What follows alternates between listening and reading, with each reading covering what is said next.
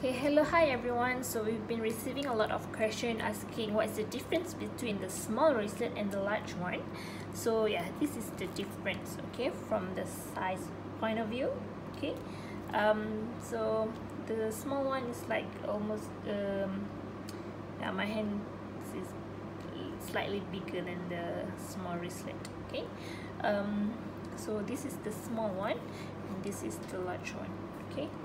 So yeah the design is different because this one is printed coach. This one is um, hardware. Okay.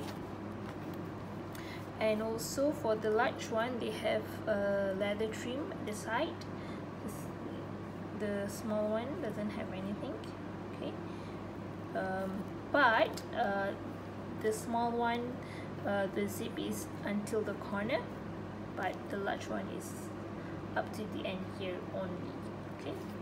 Um, for the zip they are the same okay? You can see the zip is the same the strap size is also the same okay? But the inside compartment let's check it out okay? So for the small one you have uh, two card slots inside okay?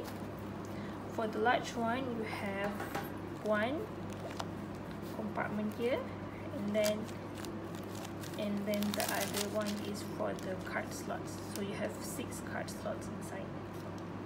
Okay. Um yeah so some people uh, prefer the small one because they can you know put easily inside their bag. But some prefer this one because they can put more stuff inside it. So yeah take a peek. Thank you for watching